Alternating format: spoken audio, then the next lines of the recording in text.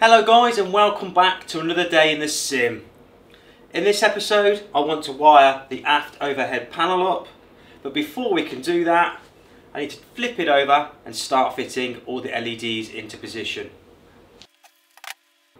To help me along with mounting all the LEDs I've got a spare caption annunciator box here mounted in the vise and simply going to use that to create the pairs of LEDs for all around.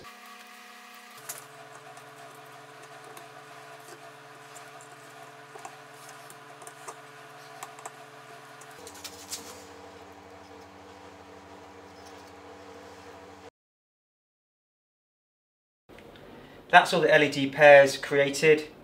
This little pile here is the orange or amber. We've got three green for the landing lights and two white for the LED, for the align on the IRS. So now, just got to insert them into the annunciator boxes and use a bit of hot glue to secure them.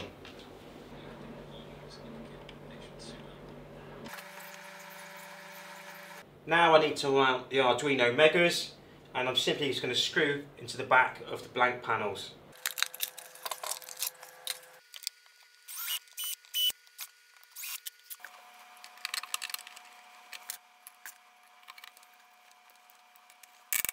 That's the two Arduino boards mounted. I've got space for two more if I require it, but that should give me 104 input outputs. That should be plenty for this part here. I am just fully aware that there are a lot of LEDs here here and here that all need mounted so we may need those two boards as a backup. Now need to create the Arduino shields to mount all the cables to.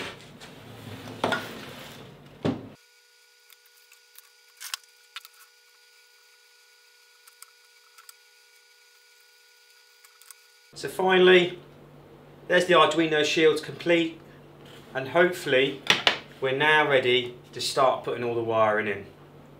I've just headed inside and grabbed this box of aircraft wiring. This was from a D-Mod on a 212. It's all different lengths but we can use it and it's really strong. There's plenty of multi-strands in there and it does, a, it does a really good job of connecting things up. It just doesn't break. I've also grabbed my tie wrap mounts and we'll put some in now so we know where the cable looms are going to go. I'm kind of thinking of running the cable loom across the top and then down each support into the various components.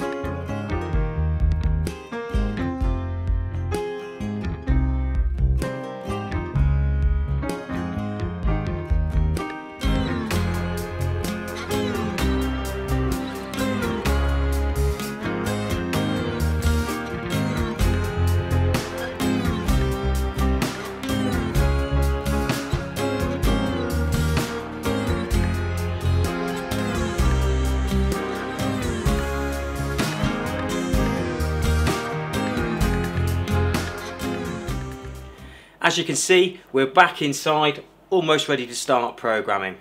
All I need to do is flip it round, like so. And I've got this cheap 4-port USB 2 hub, and it's just a simple case now of plugging all four Arduinos into it. So eventually, hopefully the USB hub will be mounted somewhere in the panel and the lead will run down to the forward overhead. From the forward overhead, it will run down to the MIP and the main computer. With everything connected, let's start MobiFlight and I'll show you how I go about programming all the pins. So the first thing I want to show you is heading over to the extras, settings and MobiFlight modules now what I've done is I've programmed all four Arduino boards in the aft overhead with the devices that they're fitted to. So for example, so for example, the overhead board 1, I've programmed all the LEDs and switches that correspond to the pins, like so. Now I don't actually know what those pins do, I just know that either they're an LED or they're a switch. So I'll exit out of there. In front of me here I have a crib board and it's just a table. It's got the Arduino board pins listed 2 to 53 and as I was going along when I was creating the Arduinos I know which wires go to which device. So pins like 26, 28, 30, 32, 34, 36 are all LEDs, the rest are switches. Now I don't know where they go to on the aft overhead themselves, but to get around that, all we do is we raise a line called test, hit edit, we forget about the FSUIPC tab, and we go to click on display. We select our board, so aft overhead 1. This is given the letter Q, so Q pin 2, and hit test. And we can see that it's the nav 1 indicator light. It's as simple as that and we just go through the list now, stop, Q4, hit test, that's the ADF2 light. We write them down on my little crib sheet here, and that's all the pins done. Like so. Now that's good for outputs, but how do I show you what button does what and what where it goes to in the pins? And it's quite simple. This time we go to extras, we go to settings, we go to logging at the bottom here, we click enabled and we make sure it's on debug and we click OK. We're going to hit run at the top and all we're simply going to do now is push a button. And you can see that that was board S pin 35 and we just look through our, our crib sheet and we write it down. So pin S is board 2 and it's pin 35. I simply write down IRS button 1 and we complete the whole board just like that. Very simple and it can be done quite easily. Of course the other way is simply just to write down everything as you go along. But you don't need to do that. So now that I've labelled everything up, I know what everything does, it's time to start programming.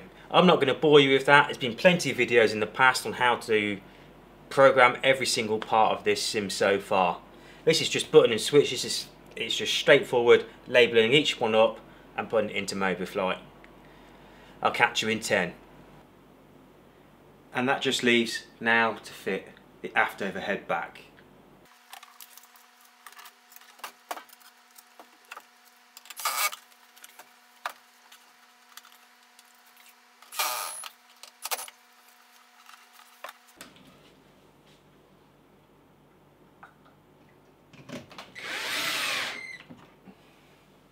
It's been about a week since I last did any filming and that's because I went to program the aft overhead and decided let's just program the whole cockpit in one go. That's what I've done. You can see that I've taken the two temporary side screens, the left and right for the windows. I've put them in the front so at least we've got an image to look at at the front. Makes it look a bit more pleasing shall we say. Let me put this panel back up. I've pulled it down to make a contrast adjustment. Once that's up, the big test will put the battery master on, see if it lights up. We'll use the lights test button then to see which captions illuminate. Let's go for it.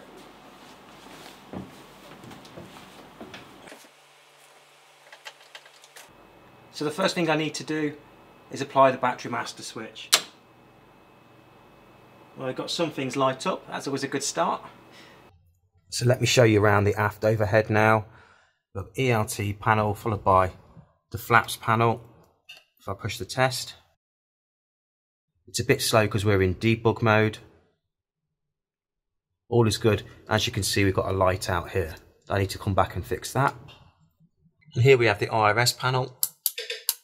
We can select which mode we want.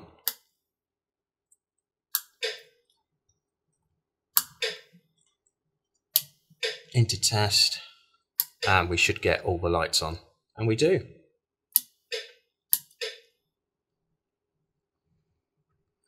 Still aligning on the right unit.